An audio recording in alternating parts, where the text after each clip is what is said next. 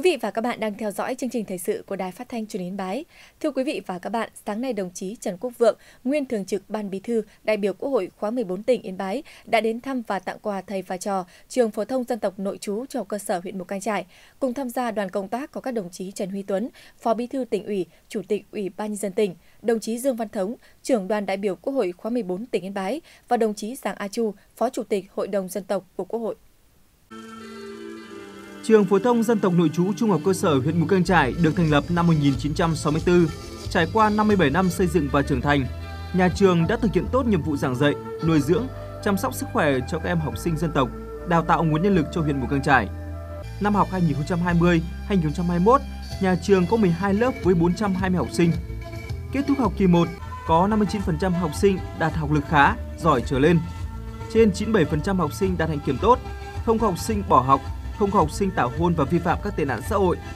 Phát biểu động viên thầy và trò nhà trường, đồng chí Trần Quốc Vượng, nguyên thường trực ban bí thư, đại biểu Quốc hội khóa 14 tỉnh Yên Bái ghi nhận và biểu dương những kết quả mà thầy và trò nhà trường đã đạt được trong suốt những năm qua. Phấn khởi trước những đổi thay của nhà trường, đồng chí nguyên thường trực ban bí thư cũng khẳng định Yên Bái đã thực hiện tốt các chính sách của Đảng và Nhà nước đối với đồng bào các dân tộc thiểu số, đặc biệt là trong lĩnh vực giáo dục. Trải qua 57 năm xây dựng và trưởng thành, trường phổ thông dân tộc nội trú trung học cơ sở huyện Mù Căng Trải đã thực hiện tốt nhiệm vụ giáo dục toàn diện cho học sinh.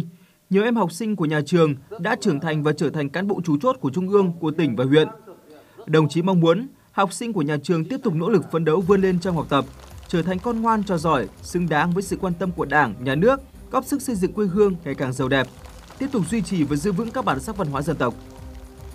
Các thầy cô giáo và các em học sinh cần tiếp tục thực hiện tốt hơn nữa nhiệm vụ dạy và học, xứng đáng là cái nôi đào tạo nguồn nhân lực cán bộ người dân tộc thiểu số cho huyện vùng cao Mù căng Chải. Nhân dịp này, đồng chí Trần Quốc Vượng, nguyên thường trực ban bí thư, đại biểu Quốc hội tỉnh Yên Bái đã tặng quà cho thầy và trò nhà trường,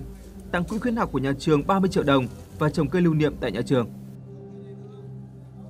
Sáng nay, Ủy ban Nhân dân tỉnh tổ chức hội nghị đánh giá tiến độ triển khai các dự án, những vướng mắc trong công tác giải phóng mặt bằng, các dự án phát triển quỹ đất trên địa bàn tỉnh. Đồng chí Nguyễn Thế Phước, Phó Chủ tịch Thường trực Ủy ban Nhân dân tỉnh, chủ trì hội nghị.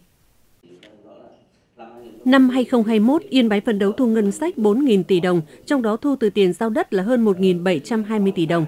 Trong đó khối huyện được giao thu 820 tỷ đồng, khối tỉnh 900 tỷ đồng.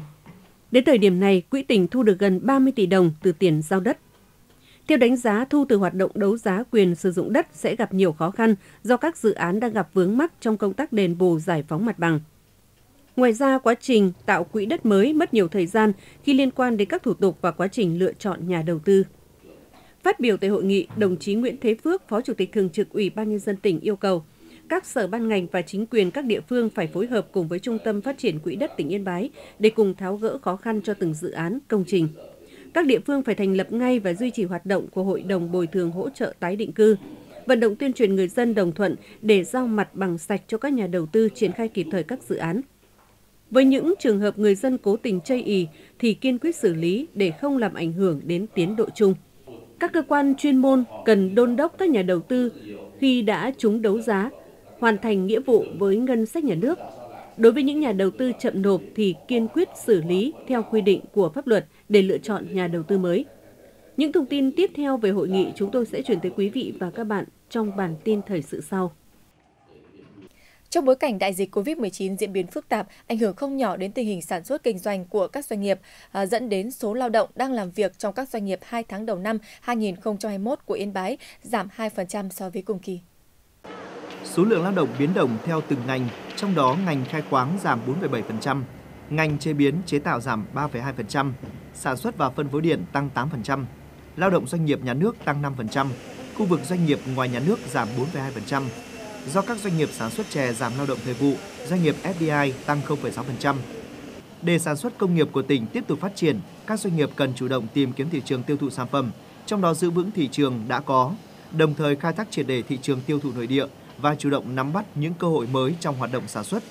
Các cấp các ngành cần có những giải pháp khuyến khích và hỗ trợ các doanh nghiệp đẩy nhanh tiến độ thực hiện các dự án sản xuất công nghiệp, các dự án thủy điện, các dự án hạ tầng khu cụm công nghiệp Bảo Hưng và cụm công nghiệp Minh Quân. Thực hiện chương trình Mục tiêu Quốc gia xây dựng nông thôn mới, đến nay huyện Văn Chấn có 6 trên 21 xã được công nhận đạt chuẩn nông thôn mới. Năm 2021, huyện Văn Chấn phân đấu có 3 xã về đích nông thôn mới, đó là xã Tú Lệ, Minh An và xã Sơ Lương.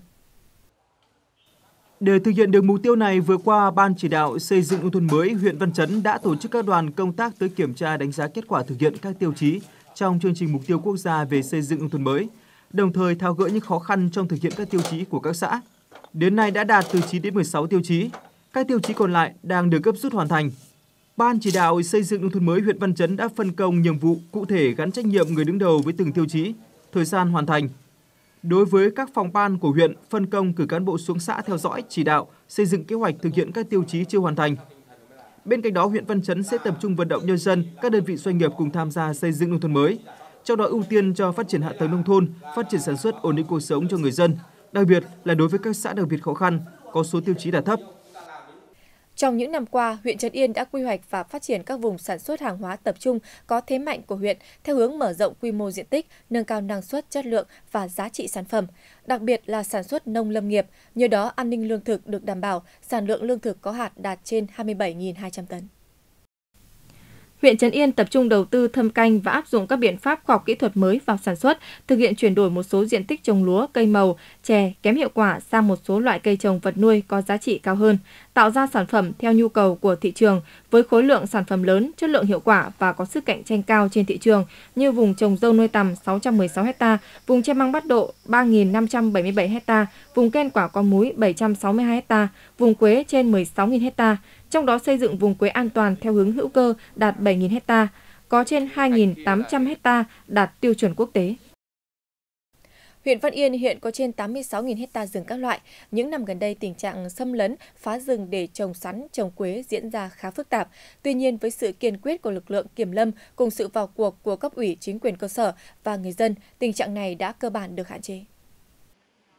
Thôn Minh Khai, xã Quang Minh hiện đang nhận giao khoán bảo vệ 257 ha rừng phòng hộ. Xác định diện tích nhận giao khoán bảo vệ này nằm giáp danh với nhiều nương quế của các hộ dân, do vậy tình trạng xâm canh lấn rừng để canh tác quế sẽ diễn ra. Để hạn chế tới mức thấp nhất việc xâm canh phá rừng, Tổ quản lý bảo vệ rừng của thôn Minh Khai với 10 thành viên đã thường xuyên thay nhau đi tuần tra những khu vực giáp danh giữa rừng với nương. Nhờ đó, những hành vi xâm hại rừng đều bị phát hiện và ngăn chặn. Riêng đối với những diện tích trồng quế lẫn vào diện tích rừng, Tổ quản lý bảo vệ rừng tuyên truyền người dân tự giác nhổ bỏ hoặc đối với những hộ cố tình chống đối sẽ bị cưỡng chế. Nhờ đó từ nhiều năm nay tình trạng xâm lấn rừng trong thôn đã không còn. Từ đó là có kế hoạch là đi tuần tra hàng tháng, phân công, tức là mỗi tháng là một hai người đến ba người. Mỗi một lần phải đi một cái khu, một cái vùng, một cái một cái đồi để, để kiểm tra từng từng từng tháng một. Dạ. Ừ. Từ đó thế từ đó là sẽ sẽ không còn cái hiện tượng là vi phạm rừng mà lấn chiếm người dân lấn chiếm nữa thấy phát hiện rồi là phải tìm những người chủ nhà người ta vi phạm để hỏi người ta nếu cụ thể thì người ta tự đi nhộ tự đi chặt nếu không thì chúng tôi sẽ sẽ chặt chúng tôi sẽ khống chế Xã Quang Minh hiện có 1.800 ha rừng các loại, trong đó rừng phòng hộ là 1.300 ha và 500 ha là rừng sản xuất. Là xã thuần nông, người dân chủ yếu sống bằng nghề nông lâm nghiệp và cây quế là cây thế mạnh của xã. Cũng từ hiệu quả của cây quế mang lại mà những năm trước đây tình trạng xâm lấn phá rừng diễn ra khá phổ biến. Trước tình trạng này, cấp ủy chính quyền xã đã phối hợp cùng với lực lượng kiểm lâm đẩy mạnh công tác tuyên truyền cũng như kiểm tra giả soát cắm mốc danh giới giữa diện tích rừng và nương rẫy.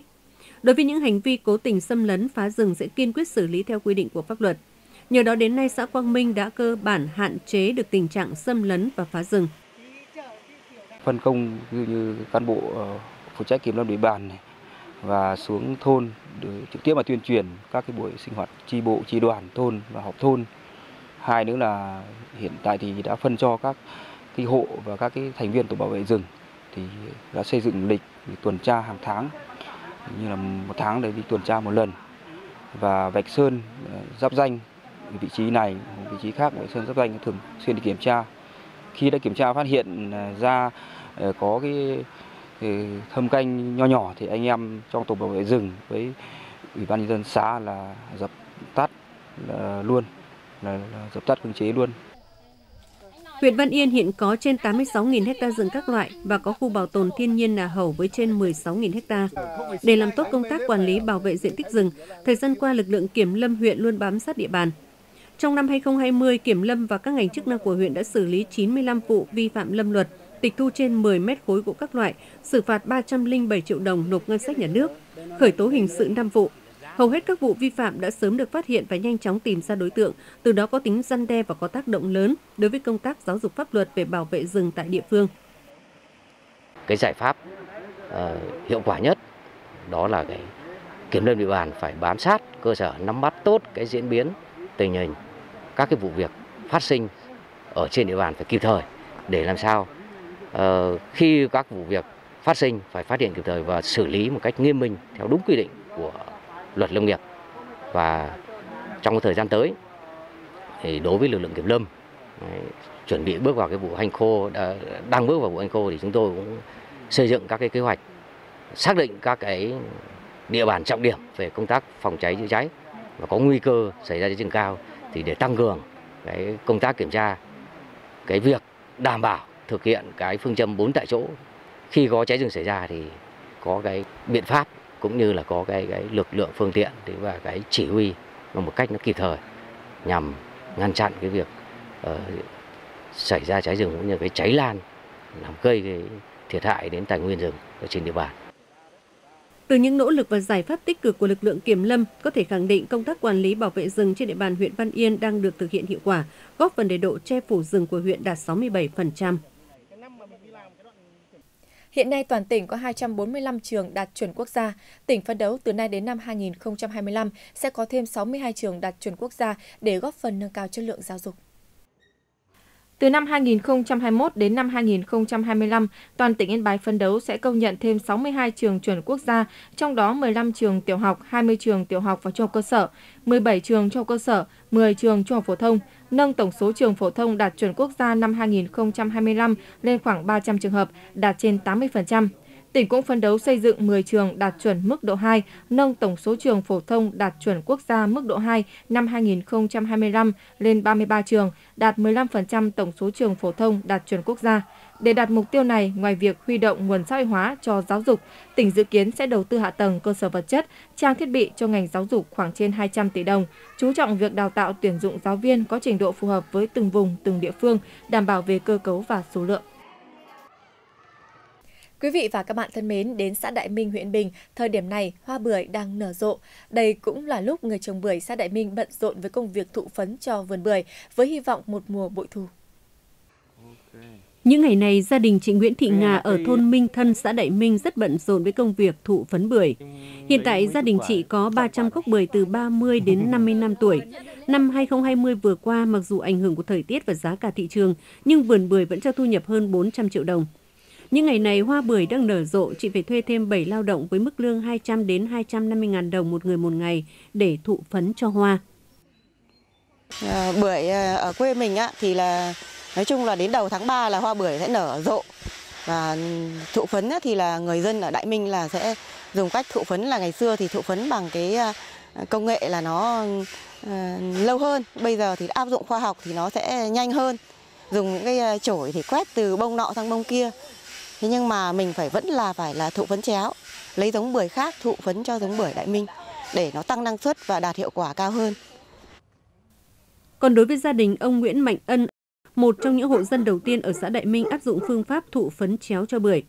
Trước đây bưởi liên tục mất mùa, nhiều hộ đã chặt bỏ cây bưởi vì kém hiệu quả. Từ năm 2008, Viện Rau quả Trung ương về chuyển giao kỹ thuật thụ phấn nên sản lượng tăng lên theo từng năm, chất lượng bưởi cũng được nâng lên rõ rệt. Thế bây giờ thì là có cái khoa học kỹ thuật mang đến cho bà con rồi thì chúng ta thì phải nên áp dụng khoa học kỹ thuật. Khoa học kỹ thuật là then chốt thì như đã anh em đã dưới viện à, rau quả đã lên đã trao cái, cái, cái, cái, cái nhiệm vụ cho bà con này coi như là chuyển giao cái kỹ thuật cho bà con rồi thì từ ngày đó giờ hơn chục năm nay rồi. Nói chung là là là, là không mà bị, bị mất mùa nữa. Mà năng suất cũng từ 7 đến 10 phần trăm trở lên. Đấy trước kia nó gì mỗi cây này ờ, vài ba chục quả bây giờ cây này có những năm lên đến 400 quả thì Xã Đại Minh hiện có 310 ha bưởi. Năm 2020, cây bưởi đã mang về cho người dân Đại Minh 50 tỷ đồng. Đối với người trồng bưởi xã Đại Minh, thời điểm bận rộn nhất là mùa hoa nở. Đây chính là lúc mọi người, mọi nhà đều ra vườn thụ phấn cho bưởi. Thời gian thụ phấn cho hoa chỉ diễn ra trong vòng một tuần rồi kết thúc. Bởi vậy, nhiều hộ gia đình ở Đại Minh còn phải thuê thêm từ 5 đến 7 lao động với mức lương từ 200 đến 250 ngàn đồng một ngày để thụ phấn cho bưởi. Thụ phấn cho bưởi là công việc không khó nhưng đòi hỏi sự kiên trì tỉ mỉ của người làm. Tuy nhiên, khoảng chục năm trở lại đây, nhờ áp dụng kỹ thuật của Viện Rau quả Trung ương, người trồng bưởi xã Đại Minh đã biết thụ phấn chéo giúp cây bưởi đậu quả sai hơn, chất lượng quả ngon hơn trước.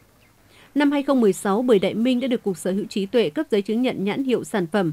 Đây là cơ hội để sản phẩm bưởi Đại Minh vươn xa hơn ra thị trường đến với du khách trong và ngoài nước. Giống bưởi quý được giữ gìn và phát triển trở thành cây chủ lực trong phát triển kinh tế do đói giảm nghèo của địa phương. Ừ, xã Đại Minh đã tuyên truyền vận động bà con nhân dân trong toàn xã áp dụng các cái à, tiến bộ khoa học kỹ thuật vào để à, sản xuất à, à, canh tác cái đối với diện tích cây ăn quả trong địa bàn xã, đặc biệt là cây bưởi là cây à, sản phẩm chủ lực của xã. Thì trong cái thời gian vừa qua thì đã vận động nhân dân à, tăng cường cái công tác tỉa cành, bón phân và đến nay thì à, đã bắt đầu vào vụ hoa bưởi thì bà con nhân dân đã tiến hành các cái biện pháp khoa học kỹ thuật nhất là áp dụng biện pháp là thụ phấn bổ sung cho cây bưởi để tăng năng suất cũng như là đảm bảo sản lượng chất lượng của cây bưởi Đại Minh. Không chỉ đưa trái bưởi trở thành hàng hóa có mặt tại các siêu thị nhà hàng, hiện nay xã Đại Minh đang xây dựng và phát triển loại hình du lịch sinh thái, du lịch cộng đồng gắn với tham quan trải nghiệm vườn bưởi. Việc duy trì và nhân rộng những mô hình vườn bưởi đẹp không chỉ góp phần giới thiệu quảng bá sản phẩm bưởi Đại Minh mà còn là điều kiện để huyện Yên Bình xây dựng và hình thành các tour tuyến du lịch sinh thái, du lịch miệt vườn, thúc đẩy kinh tế địa phương phát triển.